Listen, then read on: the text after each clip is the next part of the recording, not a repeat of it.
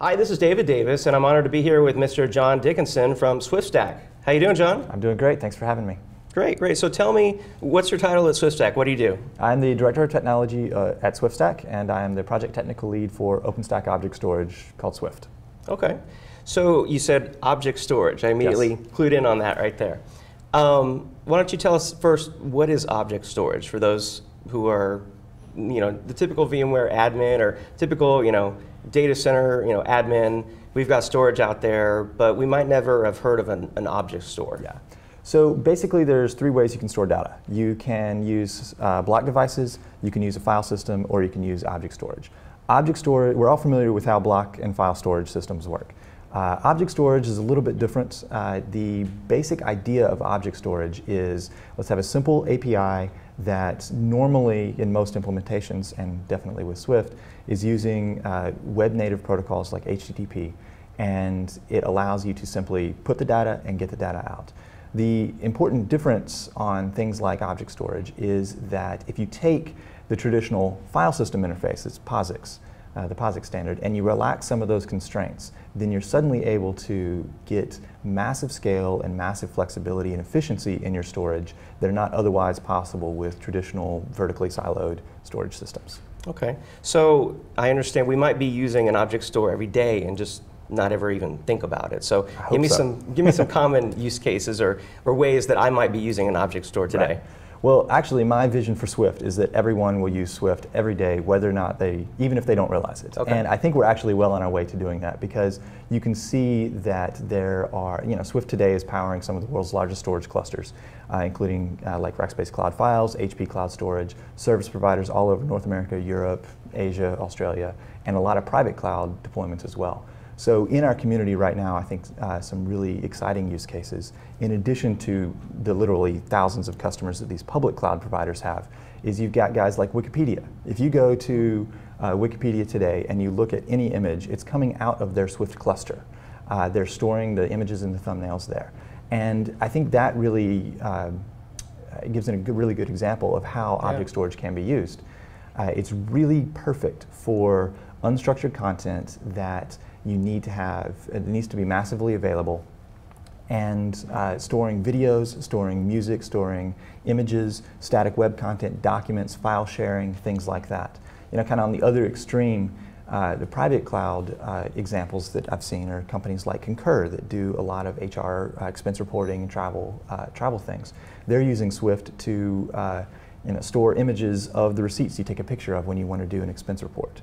And those kind of, that kind of data, uh, basically this user content, this user data that has to be, uh, you know, support this massive concurrency of mobile devices and, uh, you know, web, web available, web native content uh, is what um, object storage is really great for. Okay. So besides Swift Mhm. being an object store, there's another object store that other people might have heard of, and that's Yeah. Amazon S3. Right. So tell me, what are some of the examples of things that are stored in S3? I think it's a lot of the same sort of content, uh, and you know, people looking at uh, file file sharing stuff. Uh, you know, kind of one of the canonical examples of things like Dropbox and stuff like Dropbox, that, okay. backed up by Amazon S3. Um, what what my perspective is Mhm. uh, is that S3 is a phenomenal storage system. They're- really good. They've done a lot of operational excellence there. But the problem is, is you're giving all your data away to Amazon. Right. And for me, the important piece uh, with uh, the reality of the world is that everybody has data. It's always growing, and you want to have ownership of everything that touches your data. Not just, you know, I want to be able to run it on my own hardware, but the software that's doing that, and even the tool chains. And the only way you can do that is when you have open systems. And projects like OpenStack, which not only are just open source, so you can actually see it, but open governance, open community, open design, means that anybody can get involved in the project uh, from even just contributing um, designs and specifications and uh, documentation to actually writing the source code and know that very quickly that's going to be used around the world at massive scale. Uh, and if you're using it to store your own storage, then you actually have a great degree of ownership of, uh, of the things that are touching your data. And that becomes incredibly important, especially looking at you know, what's been coming out of the news over the past different years, uh, year, um, figuring out how do you um, as a company, you may not want or may not even be allowed to send out data outside of your data center.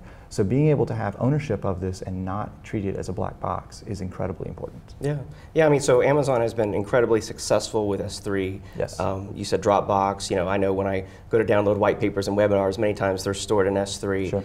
Um, but as you can't download S3 and install it in your own data center. Right.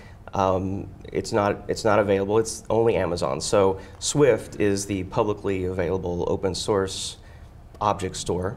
Sure. And so now Yes. Swift is enabling enterprises to do what the big boys at Amazon have done, you know, for a while now, very Absolutely. successfully. And in fact, uh, the way Swift started was as uh, the storage engine that powers Rackspace Cloud Files. Mm. So it's not just that you've got uh, the you, you can try to be like the big boys, but you can't actually do what the big boys are doing today with Swift. So you've got massive uh, public and private clouds being deployed at multi-petabyte scale um, all around the world at um, using Swift itself. So the point is, if you've got data, if you've got to store anything from, you know, I've got a few dozen terabytes to I need to store literally dozens and dozens and dozens and more of petabytes and beyond, then you can use something like Swift, and it's proven and uh, already being deployed at scale today. okay. So at Swift Stack, Mhm. you guys have taken Swift and done what with it? Sure. So, uh, good question. What we've done at SwiftStack is uh, taken the open source storage engine, and we completely believe the fact that you should have ownership of the data. So we uh, we ship and deliver Uh, 100% upstream open source Swift. We're not providing a custom fork of that.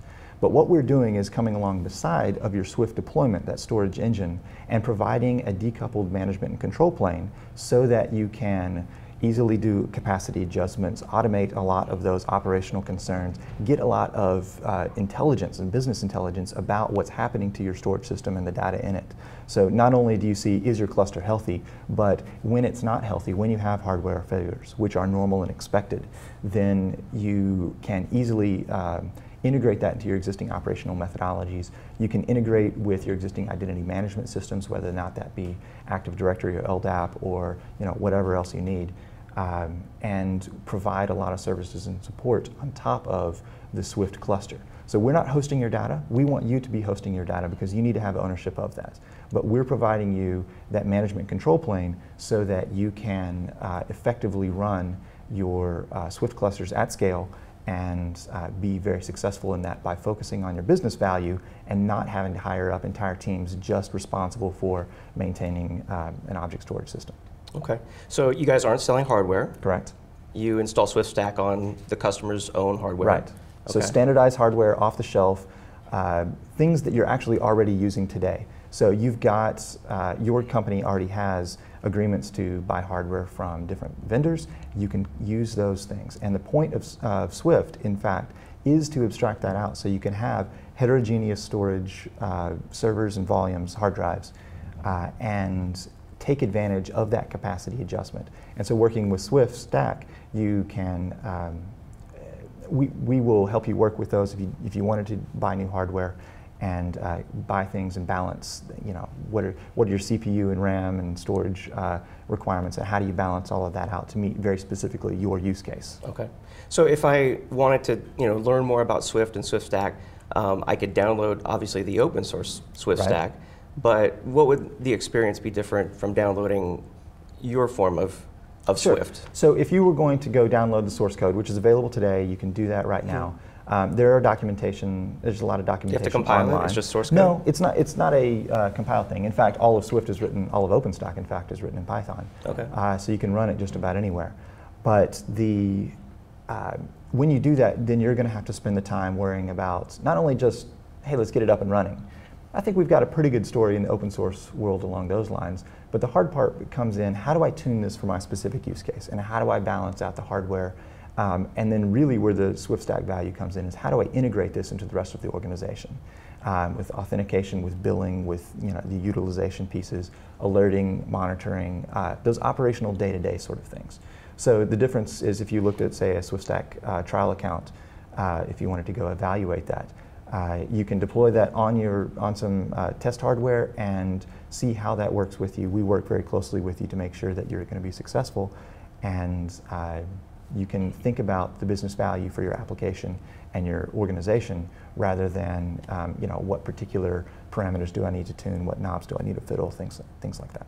Very cool, very cool. Well, you've got a fascinating story at SwiftStack. Thanks. Um, taking, you know, uh, providing a massively scalable, you know, object uh, file system, not file system, massively scalable object, Object store, yeah, Right. to the enterprise, uh, allowing enterprises to do what companies like Amazon and, and Rackspace have been doing uh, for some time now very successfully.